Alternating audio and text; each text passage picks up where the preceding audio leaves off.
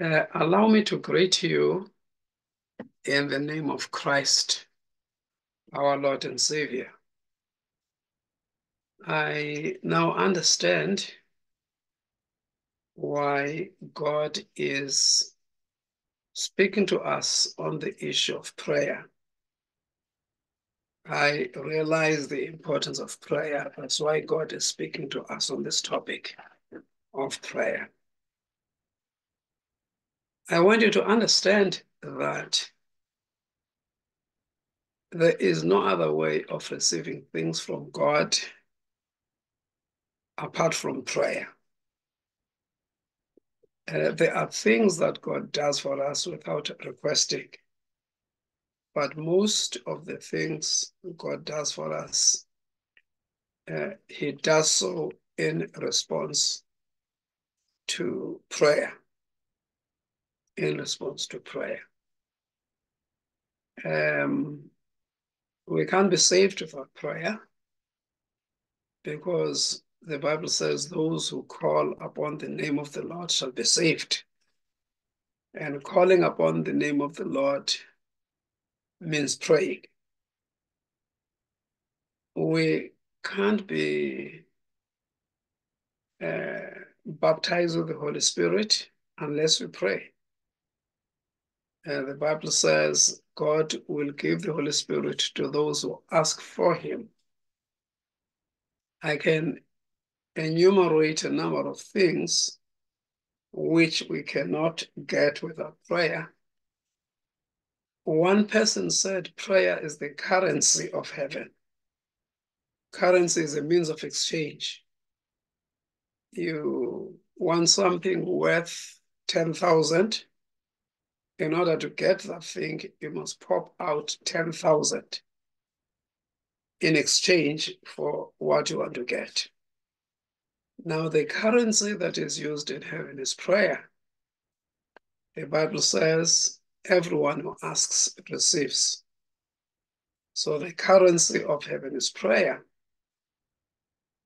In the message I preached, the teaching I, I gave in the last uh, uh, in the last lesson, I think I concluded by saying the poverty of our lives is the poverty of our prayerlessness.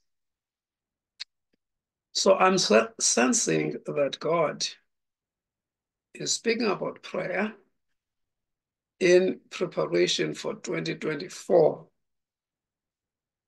I'm sensing very strongly that there are things God wants to do in 2024 which we can receive only through prayer.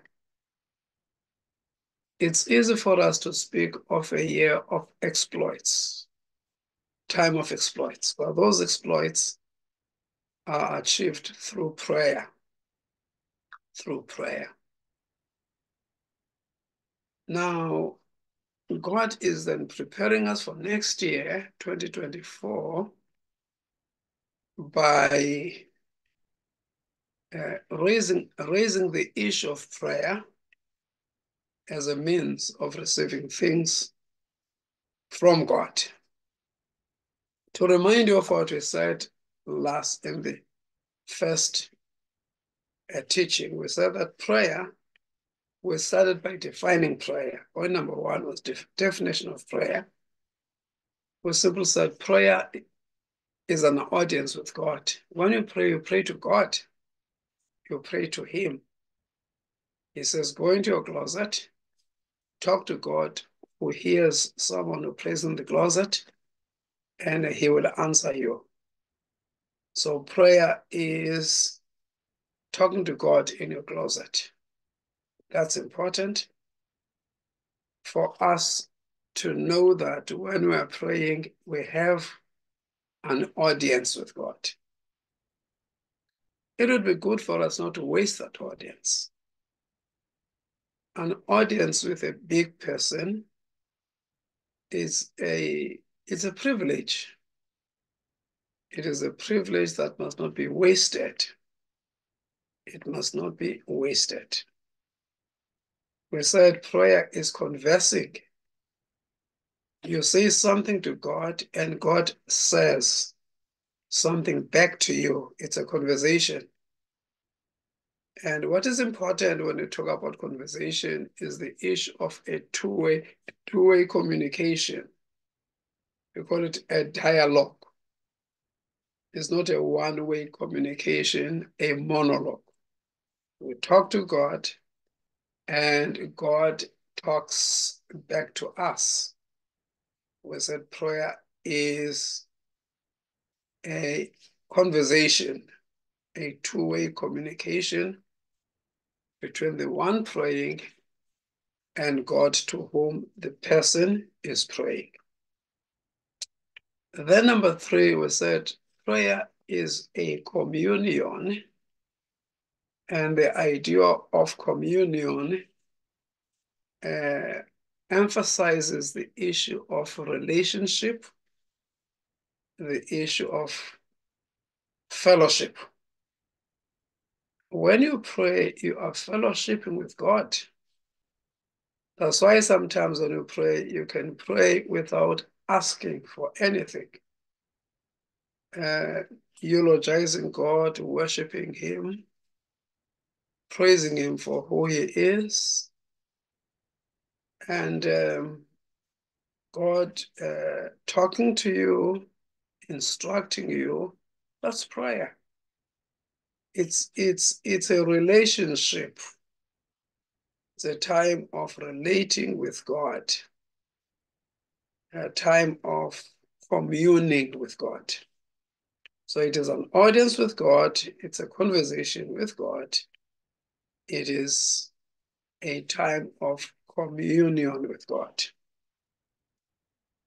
Now, the last time then we uh, talked, we also dealt with the secret of effectiveness in prayer.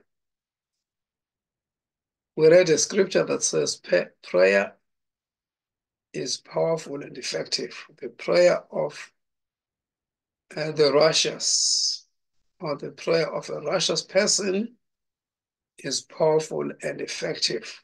James 5, I think it's verse 16.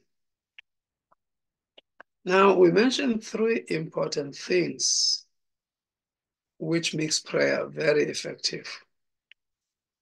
And those things are outside of us, all three of them. We'll be talking today about things that concern us. But first and foremost, uh, the effectiveness of prayer does not lie with us primarily. It lies with God. One, we said, uh, what makes prayer effective is the God to whom we pray. The God to whom we pray. Uh, the Bible says in Matthew 6, 6 to 8, when we pray, say, Our Father who art in heaven. So Christ was teaching us that we direct our prayer to God the Father. Is it wrong to pray to God the Son? No, it is not, because God the Son is God. Is it wrong to pray to God the Holy Spirit? No, it is not wrong because God the Holy Spirit is God. It's not wrong at all. But primarily, prayer is directed to God. Christ taught us to address our prayers to God. Our Father who art in heaven, hallowed be your name. Now, um, when we talk to God, there are many things we should know about Him to realize that our prayers will be effective. Number one, we should know that God is omniscient, means He knows everything. So there's a scripture that says in Isaiah, before we open our mouth, He already knows. Before we utter uh, the word of prayer, God is already answering us. It's wonderful to talk to someone who knows what you need. who knows your concerns. You don't have to explain much. He understands. If you're sick, he knows the cause, the cause of your sickness. He knows the extent of your sickness. He knows. We pray to God who knows. But God is also omnipotent. We pray to God who knows, I mean, who does not only know, but God who is all powerful. So when we pray to a God who's all powerful, um, there is nothing he can't do. There is nothing that is beyond his power.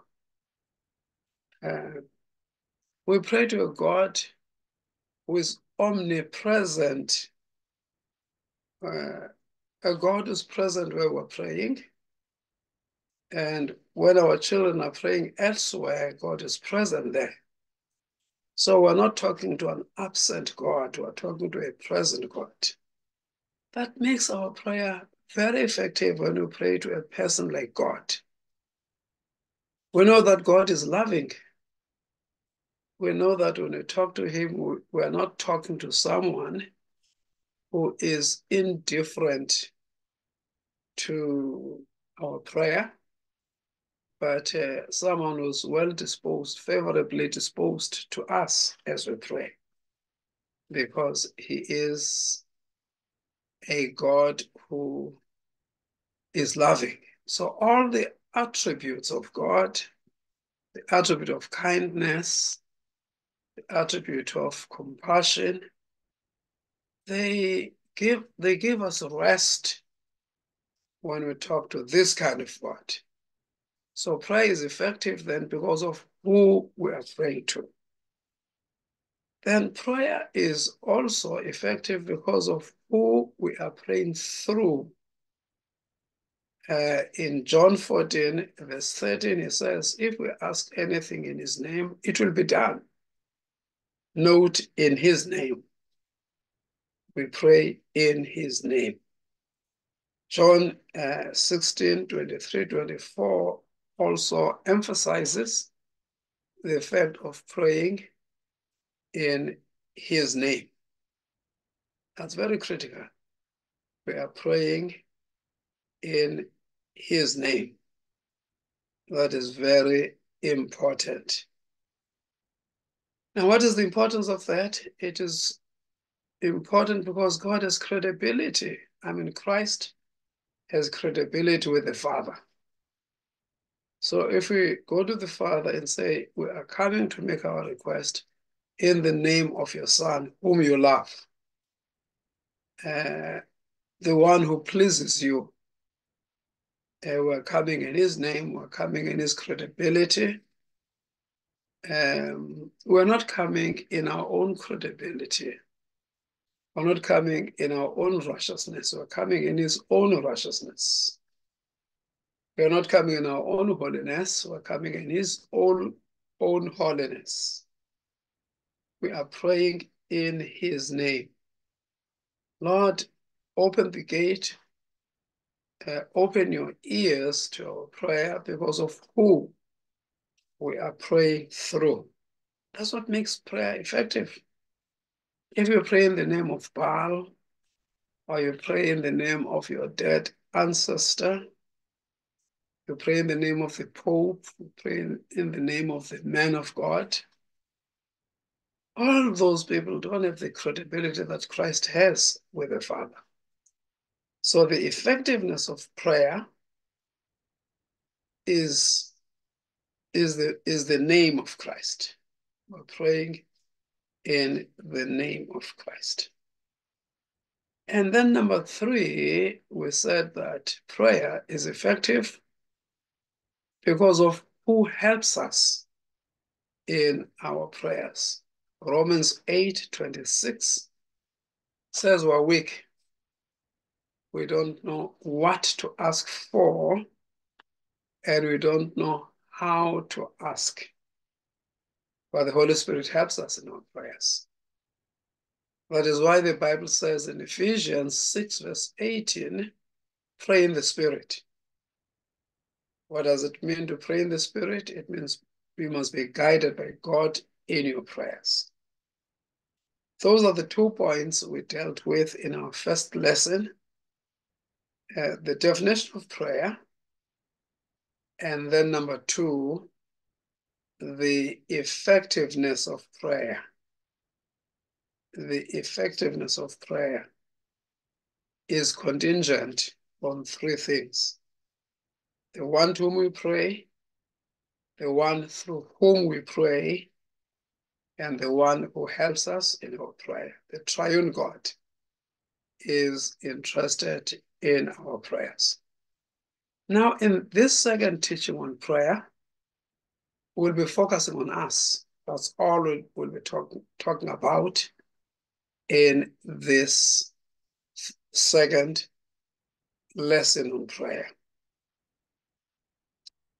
Um, the question we want to ask is, what makes our prayer effective from our, our side? Uh, what makes prayer effective from our side?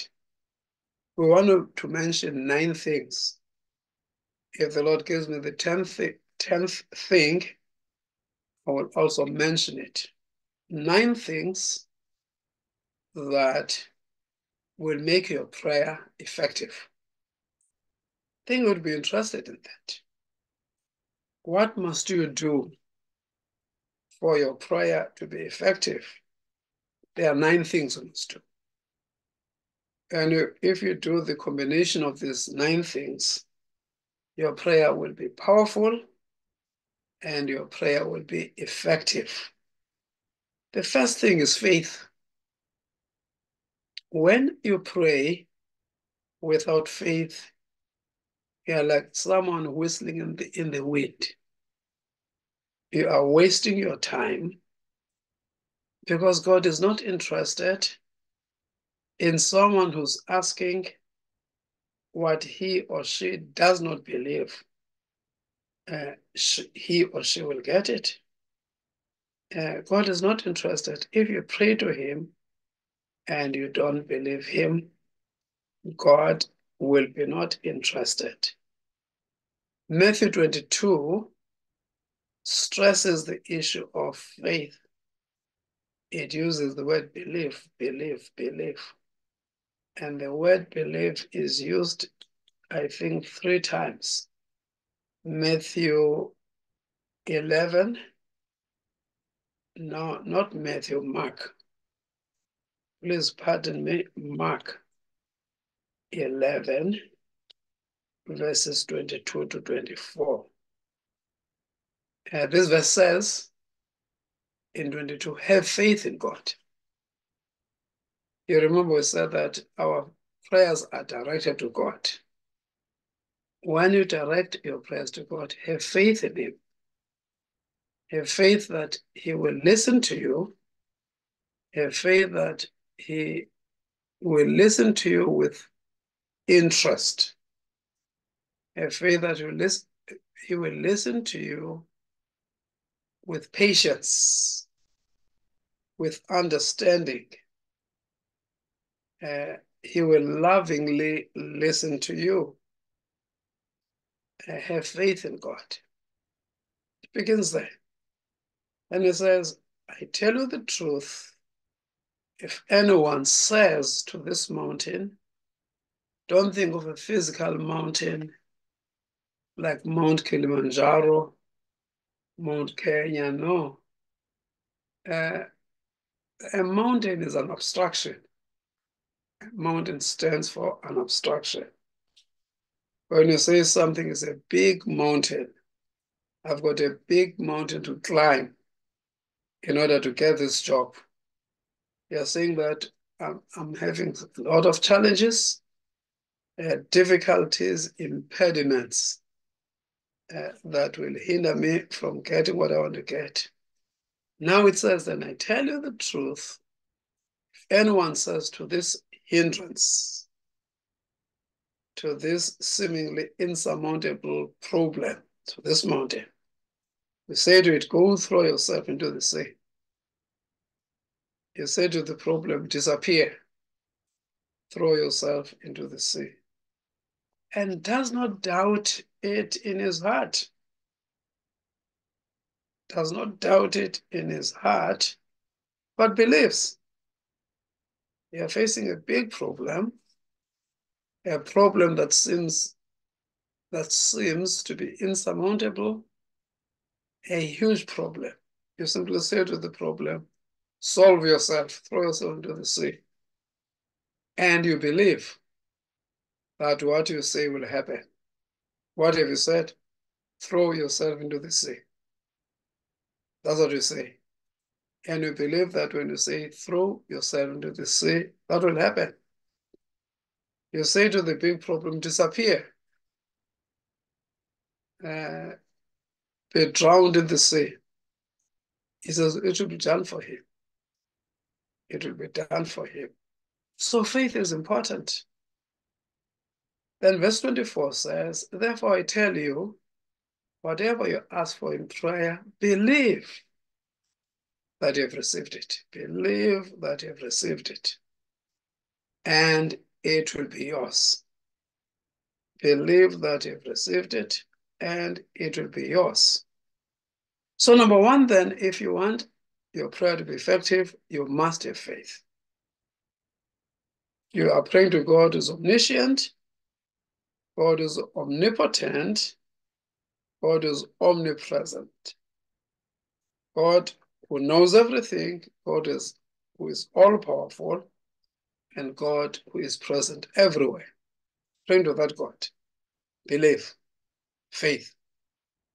Number two, what you need in order to approach God is personal cleansing, personal cleanliness, cleanliness, holiness, righteous.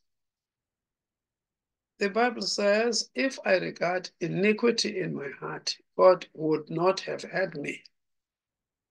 Or another version says, if I cherished wickedness in my heart, God would not have had me. So when you pray, you must not have wickedness in your heart. Proverbs 15 and verse 8. Let's look at it. Proverbs 15 and verse 8, and hear what it says about the issue of righteousness and prayer. 15 and verse 8, the Bible says, The Lord detests, the word detests means hates the sacrifice of the wicked. But the prayer of the upright pleases him. When your life is clean before God and you pray to him, he's pleased with your prayer. When you see people whose prayers are answered, you are seeing someone with whom God is pleased. Uh, the fact that the prayers are answered is the proof that God is pleased with that person. That is 15 verse 8. Uh, sometimes someone who has got access to God is abused. When you pray and God answers, and people know that God answers your prayers, they will all flock to you asking you to pray for them, exploiting the fact that God is pleased with you. Verse 29, still Proverbs 15, 29. Proverbs 15 and verse 29.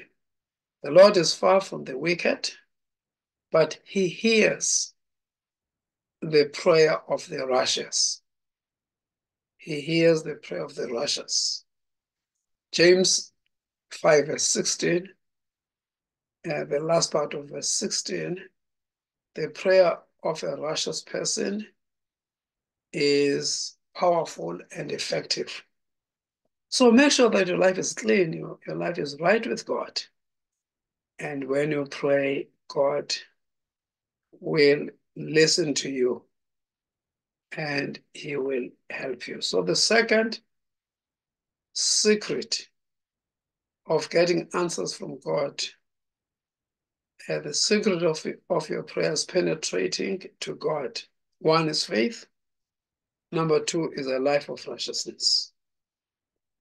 Number three, the Bible says, God hears the prayers of people who is sensitive to the needs of the poor, sensitive to the needs of the poor. When you help the poor out of a pure heart, out of a compassionate heart, God sees it. And God uh, will listen to your prayers. Proverbs 21 and verse 13. Proverbs 21, verse 13. If a man shuts his ears to the cry of the poor, he too will cry out and not be answered. The implication is that if you shut your ears to the cry of the poor, God will also shut uh, his ears to your prayers. So if you want God to hear your prayers, you must be generous to the poor. You must be sensitive to the poor.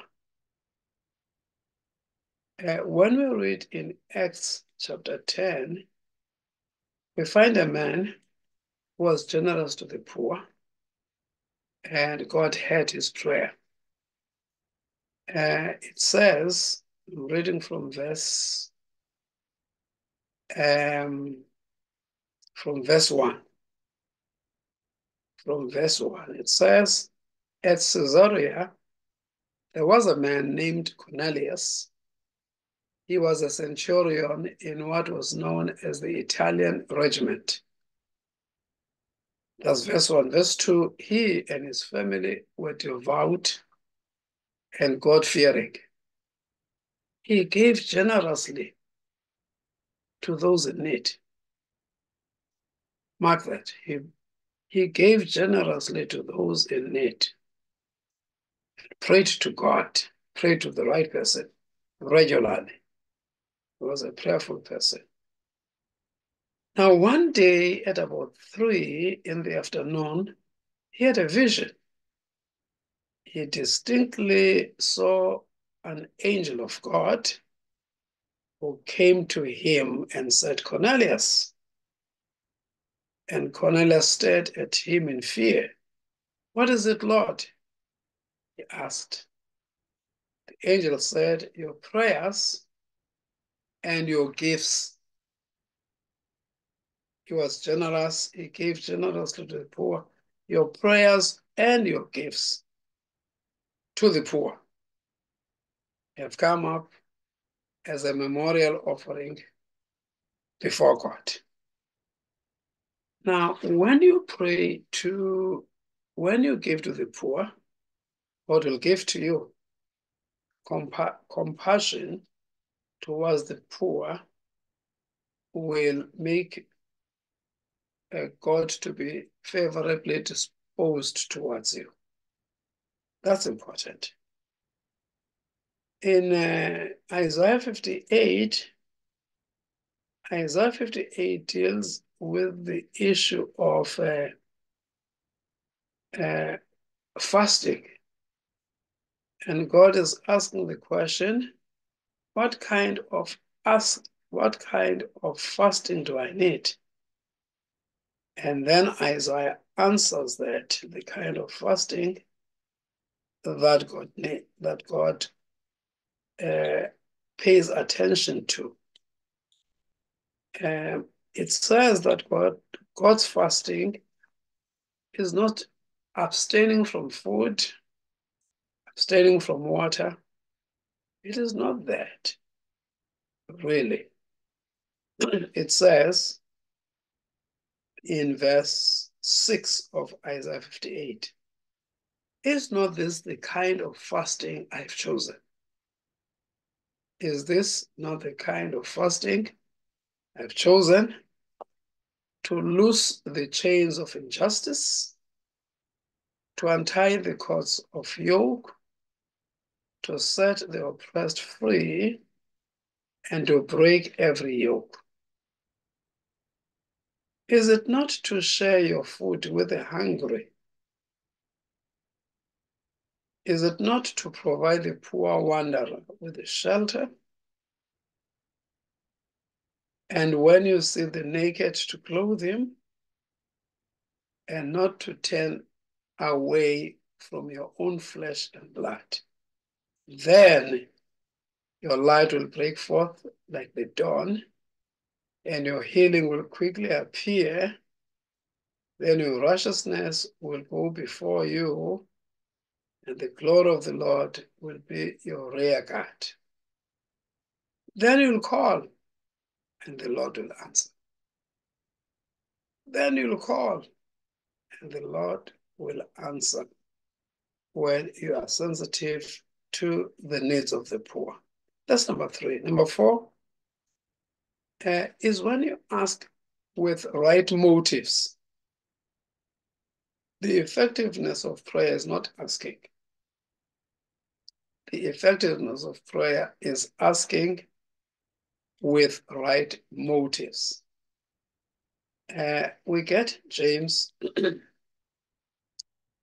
uh, chapter 4, verse 2 says, if I could read it in the King James Version, it says, Ye ask and receive not, because you ask, no, no, no, verse 2. Uh, ye lust and have not, ye kill and desire to have and cannot have, can, cannot obtain. You fight and war. Yet ye have not because ye, ye ask not. You don't have because you don't ask. but verse 3 then says something that important. It says, when you ask, you do not receive. And the Bible says, everyone who asks, asks receives. But this one says, when you ask, you do not receive, because you ask with wrong motives. Wrong motives. That you may spend what you get on your pleasures. What are the examples of wrong motives? You have a car that is strong, it's still really working very well, and it is adequate for your needs. Then you see your friend or your relative buying a new car. And all of a sudden, you ask God to give you a new car. Not because you need a car, but your motive is to uh, compete with your friend, with your family member. The motive is wrong. I would give you many other examples. Uh, you want to get married and you've seen a sister or a brother and you want to get married to that person and you pray fervently that God would soften the heart of the person you want to get married to, but the motive is wrong. You want this sister because she looks pretty and you're driven by lust. Or you want this brother because the brother is wealthy and you want to get married to his wealth rather than getting married to the person, the motive. So you don't get it because you, you ask with wrong motives. Number five, you don't get because you don't keep God's word. When God speaks to you and says something to you, you don't keep his word. And therefore, God does not answer your prayers because you don't keep his word. We find that in Proverbs 28, Proverbs 28 and verse 9, the issue of keeping his word. He says, your the prayers of a person who ignores the law are despised. The law, the law, the phrase law and prophets refers to the Old Testament. Sometimes the entirety of the Old Testament is referred to as the law. So verse 9 says, the prayers of a person who ignores the law are despised.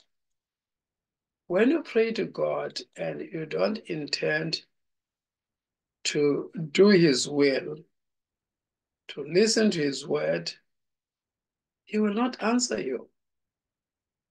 He will not answer you.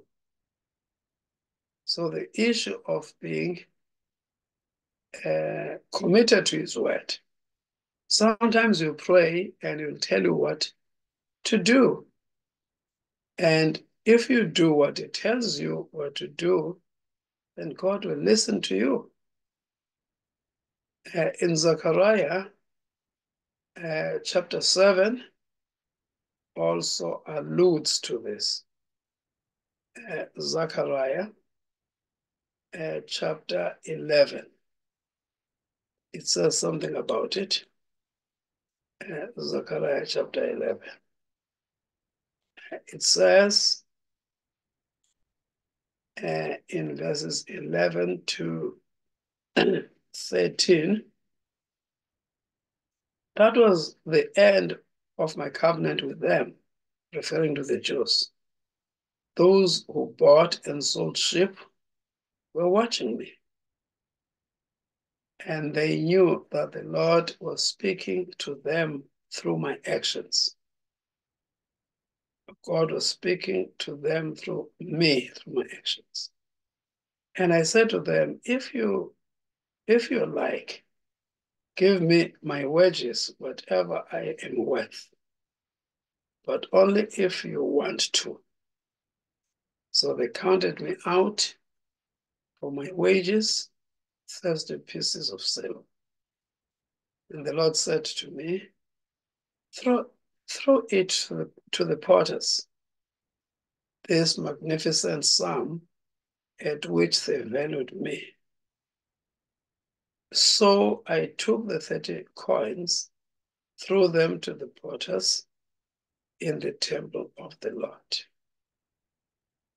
But that verse 11 talks about us not listening to his word. That verse 11. If we don't listen to his word, if we don't listen to I told them, he says, it was revoked on that day. And so the afflicted of the flock who were watching me knew it was the word of the Lord. I told them. But they despise the word of the Lord and their prayers were not answered. And then number five is abiding in Christ. That's number six, abiding in Christ. If you are born again, you're a child of God, remain born again. Um, you remain in Christ. You remain saved. You remain born again. Sin will separate you from Christ but when you stay away from sin, you will remain in Christ. And his word must also remain in you. When you do that, your prayers will be answered. Get this in John chapter 15 and verse 7. Uh, if you remain in me, Christ says, and my words remain in you, Ask whatever you wish. It will be given to you. Ask whatever you wish. It will be given. The condition is remaining in Christ and his word remaining in you. Then number seven, you must pray with expectation. Goes back to the issue of faith. When you pray, you must pray with expectation. And when you do so, God will listen to your prayers. He will uh, answer your prayers. You get this in Psalm 5, verse 3. Psalm 5, verse 3. It says, In the morning, O Lord, you hear my voice. In the morning, I lay my request before you and wait in expectation. Underline that and wait in expectation. The New Living Bible says, Listen to my voice in the morning. Each morning I bring my request to you and wait expectantly. expectantly. That means faith. God will hear you. And number eight, you must be praying according to the will of God. And the Holy Spirit is there now to assist you when you pray to reveal to you what is contrary to God's will and what accords with God's will. Uh, First John chapter 5, verses 14 and 15, they say in verse 14, uh, and we, we can be confident that he will listen to us when we ask him for anything in line with his will. We are confident that he will listen to us when we ask for anything in line with his will. And if we know he is listening when we make a, our request, we can be sure that he will give us what we ask for. This is dependent on whether what you're asking for accords with his will or not. And then the last uh, secret of effective prayer is to obey his commands. Whatever he tells you, you do it. You're an obedient child of God. And then God will do what you're asking for. We also do things for the children who obey us. You're an obedient child of God. Then God will listen to you. First John chapter 3 and verse 22. First John chapter 3 and verse 22. The Bible says, and receive from him anything we ask. And it says, let me start from verse 21. It says, Dear friends, if our hearts do not condemn us, we have confidence before God. And we receive from him anything we ask because we obey his commands. And we do what pleases him. Two things. We obey his commands and we do what pleases him. When we do that, God will answer our prayers. God wants to answer our prayers next year is giving us a clue as to what how to pray in order for in order for our prayers to be answered. One, we must pray in faith. Number two, we must pray in righteousness. Number three, we must be sen sensitive to the needs of the poor and meeting them. Number four, we must ask with right motives. Number five, we must keep his word, the written word of God and the spoken word uh, to us. Number six, we must abide in Christ and his word must abide in us. Number seven, we must pray with expect, expectation, with a sense of expectancy. Number eight, we must pray according to the will of God. And number nine, we should be obedient children of God. And when we're obedient, God will listen to our prayers. I'm praying that uh, this prepares you for 2024 because God intends to answer to do great and mighty things next year, provided we are prayerful. God is really dealing with the issue of prayer because he's encouraging us to pray. Uh, Father, we thank you for this word. Amplify it in our hearts. Give us the, the desire to put your word into practice and see what God will do for us. We ask these things in Christ's name. Amen. The Lord bless you. We're preparing for 2024. The Lord be with you and bless you. Bye bye for now.